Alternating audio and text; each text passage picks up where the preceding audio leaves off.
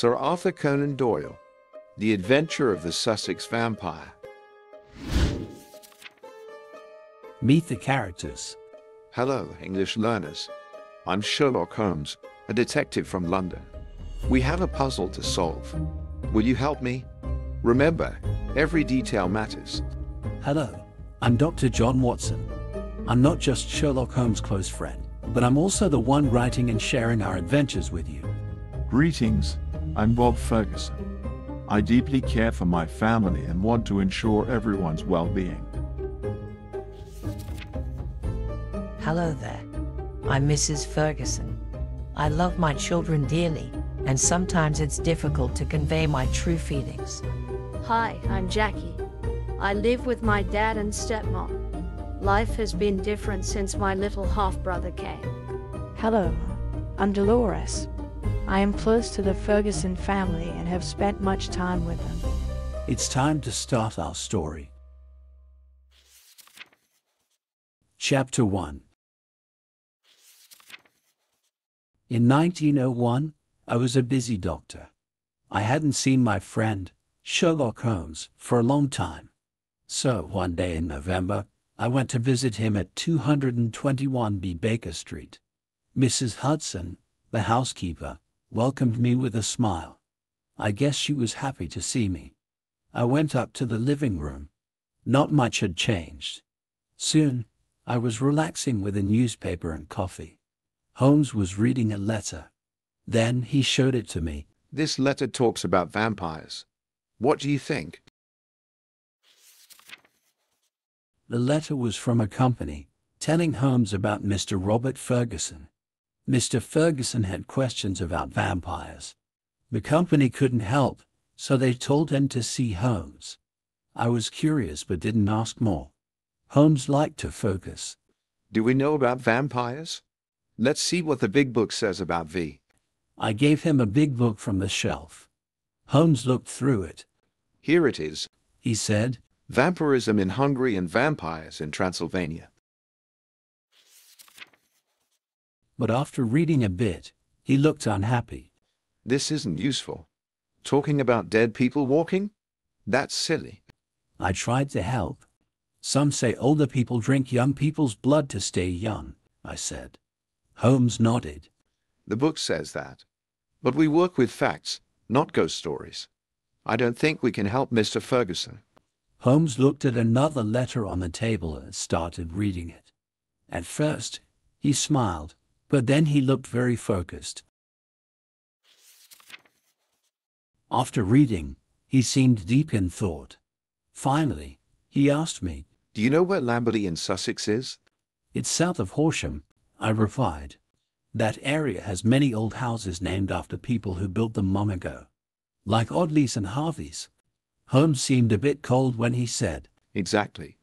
I felt he was maybe a bit surprised by my knowledge. He often explained things to me, and perhaps he forgot sometimes that I knew things too. But I wasn't looking for praise.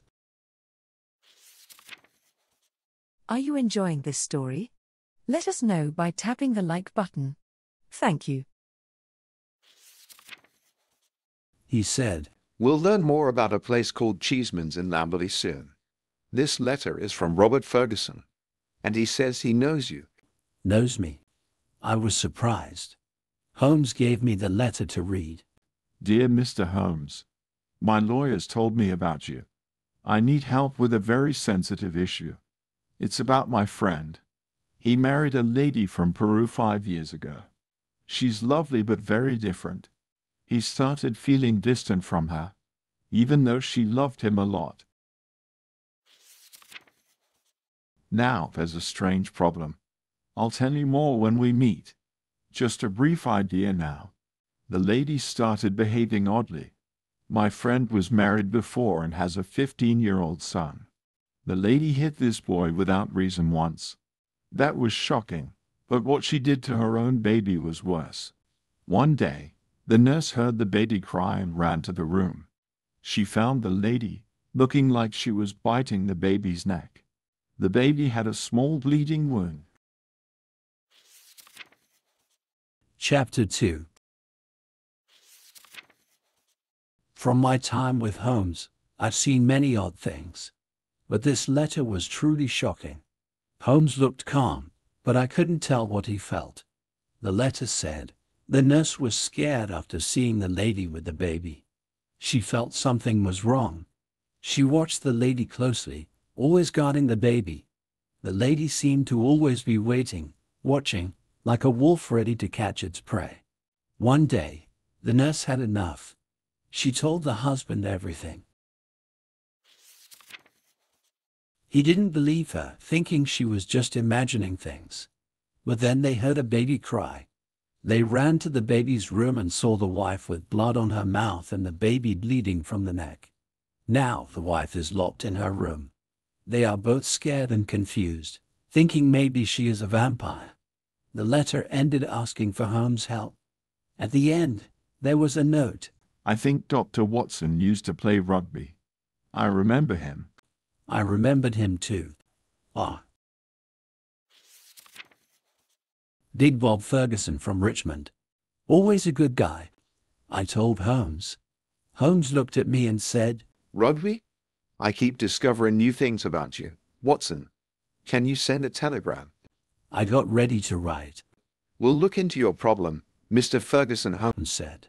I raised an eyebrow. His problem, not his friend. Holmes replied, We shouldn't show doubt. Let's send it and wait until tomorrow. As I went to send the telegram, I kept thinking about the strange story.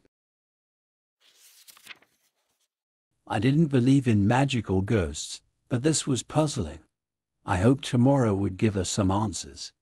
At 10 in the morning, Mr. Ferguson came into our room. I still remember him as a tall and swift man, a real star on the rugby field. But the man in front of me looked quite different. He seemed older and deeply troubled. Seeing him, I wondered if age had changed me too. Hello, Watson. He greeted with warmth, even though his voice showed weariness. Don't miss a single chapter of our extraordinary stories. Hit the subscribe button now. It feels like ages since our rugby matches. A lot has changed, hasn't it? The past days have been particularly hard for me. Mr. Holmes, your message made it clear you understand the depth of my situation. Holmes responded, Speaking directly often saves time and misunderstandings. Please, Mr. Ferguson, tell us everything, especially about your wife's actions and how it affects the children.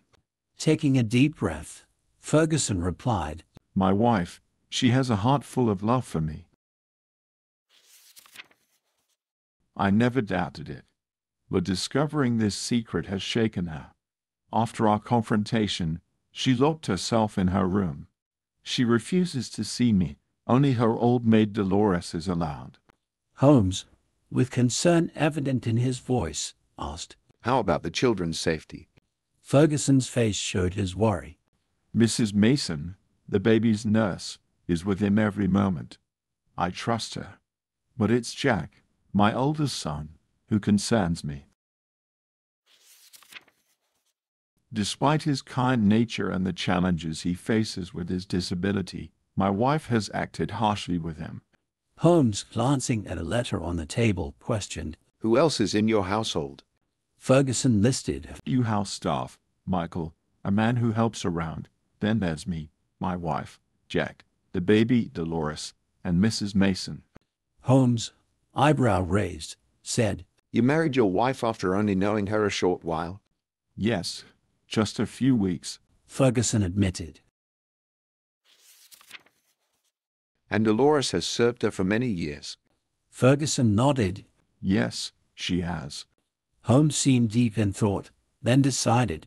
I think the best way forward is for us to visit Lamberley and see things for ourselves. Don't worry, we'll stay at a nearby inn. Ferguson's face lightened a bit. That's a relief. Thank you, Mr. Holmes. There's a convenient train at two o'clock. Will that work? Holmes replied, Perfectly. Our schedule is open, and this case now has our full attention. Naturally, Watson will accompany us. Chapter 3 Holmes was deeply into the case, while I was slightly annoyed. I often had to leave my own work to assist him. But our office was quiet, so it wasn't a big problem. Holmes was too focused on Ferguson to notice my feelings. Holmes asked Ferguson. About your wife. She's been harsh to both children, correct? Ferguson nodded. Yes. Your son got the worst of it? She hit him twice. Once with a stick, once with her hands. Did she say why? She said she disliked him a lot. Is she often jealous? Very much so. She loves deeply, which leads to strong jealousy. Holmes wondered. But your son, even with his physical challenges, he's clever, right? Did he explain her behavior? Ferguson shook his head. He said there was no reason. They've never been close. Yet he's a loving boy to you? Absolutely. He's very attached to me. Holmes seemed lost in thought for a moment before asking. Your son was very close to his mother? He cherished her memory. Holmes noted down some points and then continued. Did these attacks on the baby and your son happen at the same time? The first time, yes. She was very angry at both. The second time, only Jack was harmed. Mrs. Mason said the baby was fine. That makes things more complicated. Ferguson, puzzled, said. I don't quite get it. Holmes smiled slightly. Sometimes I have theories and wait for evidence to prove or disprove them. Your case is challenging, but not impossible. We'll be at Victoria Station at 2. On a cold, grey day in November, Holmes and I found ourselves aboard the two o'clock train headed for Lamberley. We chatted lightly about various things, mostly to pass the time. Once we arrived, we briefly stopped at an inn called the Checkers to keep our bags.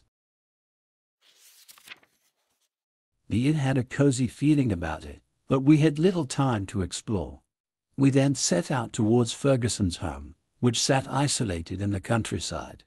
The path was long and winding, surrounded by trees, their branches almost bare from the autumn chill. As the house came into view, I was struck by its sheer size and age. Part of it seemed very ancient, with its tall Tudor chimneys rising proudly against the sky, while some areas appeared to be additions made more recently. The roof, tinted green with age, showed many years of weathering. In the main room, there was a big fireplace with a warm fire. I looked around, noticing old walls mixed with modern art and items from South America. Probably, these were from Ferguson or his wife's travels. Holmes, head the detective, was immediately drawn to these. His fingers brushed over each item, his eyes sharp, scanning for details. But soon his attention shifted to a corner where a dog, looking weak, lay in a basket. The dog moved with difficulty and came to Ferguson. Holmes asked Ferguson. What happened to the dog? With a hint of sadness, Ferguson replied. The vet couldn't say for sure. Thought it might be a spinal problem. Thankfully, he's slowly recovering. Holmes, eyebrows furrowed, pressed further. When did this start? Roughly four months ago, answered Ferguson. Holmes looked deep in thought. Curious, he murmured. Ferguson's patience seemed to wear thin. Holmes, this isn't just a game. My family's safety is at stake.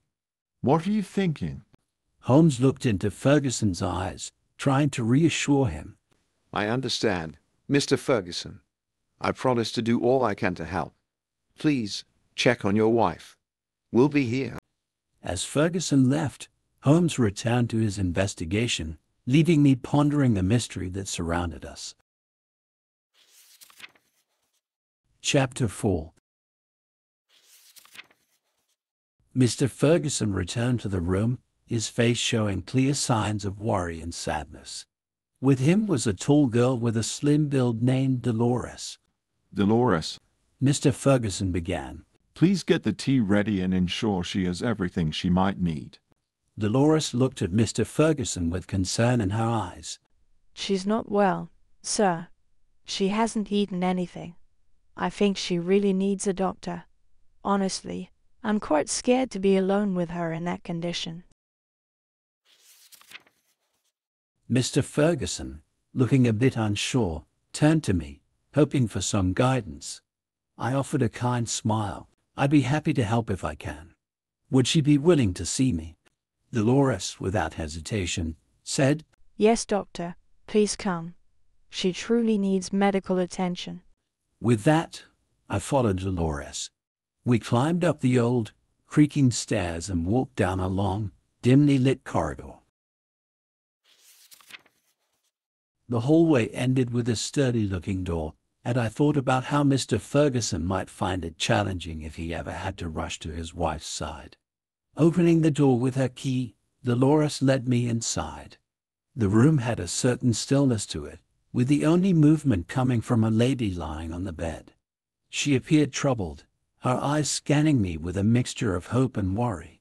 I'm here to help. I'm a doctor, I softly said, hoping to ease her anxiety. Although her symptoms seemed more emotional than physical, Dolores whispered to me, sharing her concern. She's been like this for days now. The lady interrupted, her voice weak but filled with emotion. Where is my husband? She questioned. He's just downstairs, I responded gently. Her reply was swift and firm. I don't wish to see him now. Her face was a canvas of various emotions, from sadness to frustration. I tried to bridge the gap between them. Your husband is really worried about you, I told her. She looked at me, tears forming in her eyes. I love him so much, but he doesn't understand or trust me. I can't face him now, but there's one thing you must tell him for me. I want to see our child. It's my only wish. After that, she seemed exhausted and refused to engage in more conversation. Heading back downstairs, I found Mr. Ferguson and Holmes waiting eagerly. I recounted everything I had witnessed and heard. Mr. Ferguson's reaction was one of deep pain and confusion. He said, How can I let her see our child? After everything, how can I be sure she won't harm him?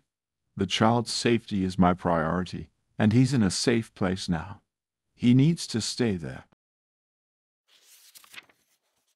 Chapter 5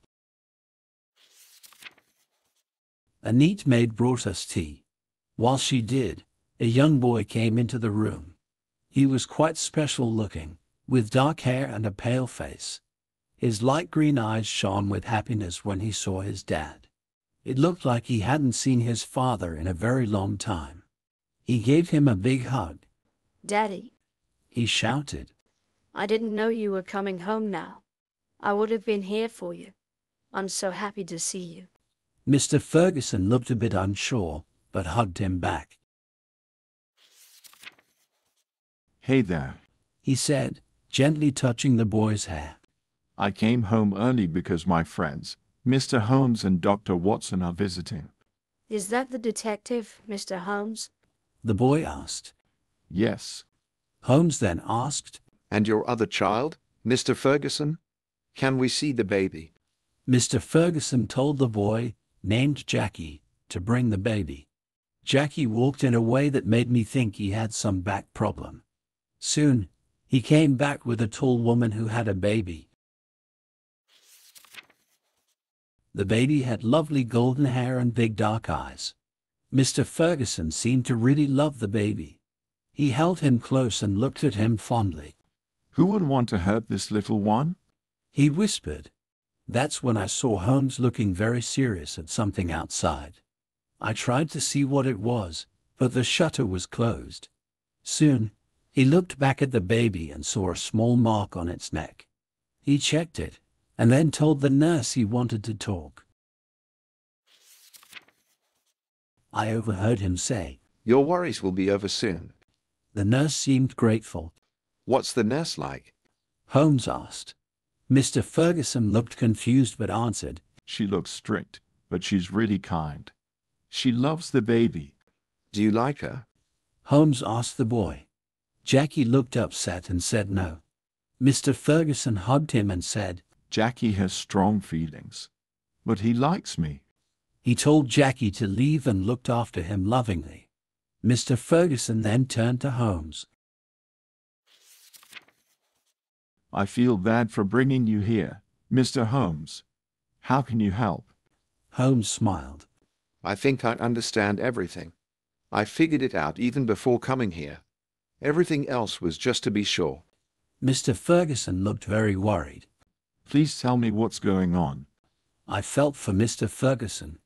Sometimes Holmes liked to make things sound more mysterious. I wished he'd just tell him. Holmes seemed to get it. I'll explain everything. But we need to see the lady. Is she okay to meet us? He asked me. She's sick, but she's okay to talk. Let's go see her. She won't want to see me. Mr. Ferguson said sadly. She will. said Holmes. He wrote a note and gave it to me to give to her. Chapter 6 I walked to the upstairs door and knocked lightly, waiting for an answer. Dolores soon opened the door, looking a bit worried. Handing her a piece of paper, a note from Holmes, I noticed her skimming through it, after which a gasp of joy echoed through the room. Suddenly, she looked happy and surprised. She's ready to talk. She whispered.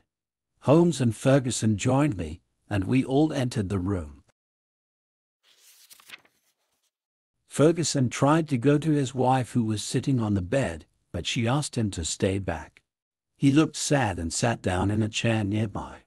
Holmes, ever the gentleman, gave a polite nod to the lady before settling himself. Addressing Dolores, he suggested, Perhaps it would be best if you stepped outside. but catching a glance of the lady's concern, he quickly added, Of course, if the madam wishes for you to stay, I have no objections. He then looked at Ferguson and said, I'll get straight to the point. Your wife is kind and good. She has been in a tough spot. Ferguson's eyes brightened. If you can show she's not at fault, Mr. Holmes, I'd be very thankful. Holmes replied. I'll tell you everything, but some parts might be hard to hear. Ferguson nodded. I just want to know she's okay. Holmes started.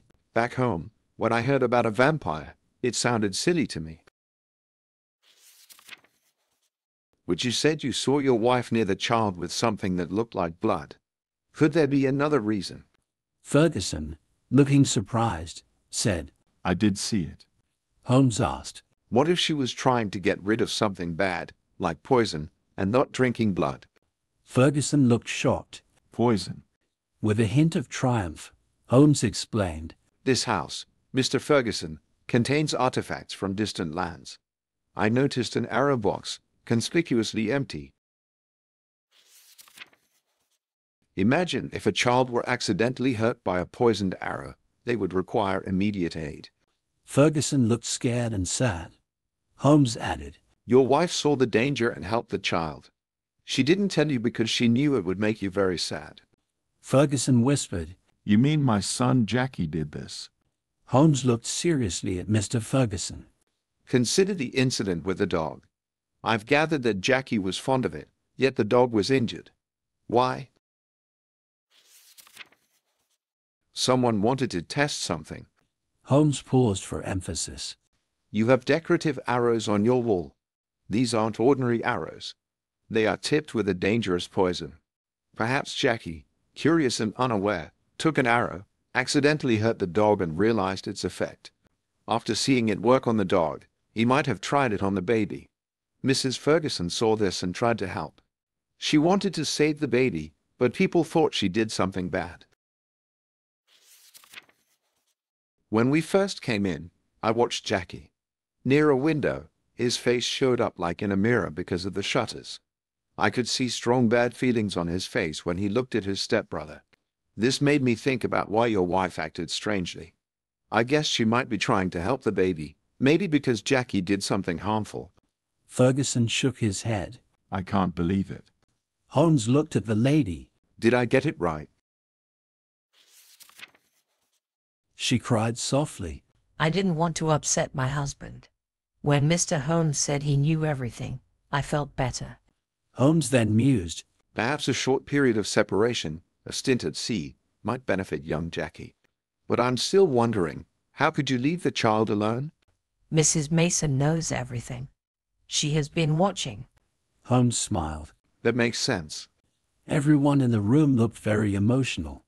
Ferguson went to his wife, trying to comfort her.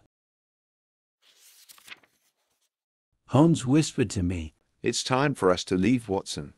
As we were leaving, a note fell from my pocket. I picked it up and read. Dear lady, don't worry, I know everything. Better days are coming. Kindly, Sherlock Holmes.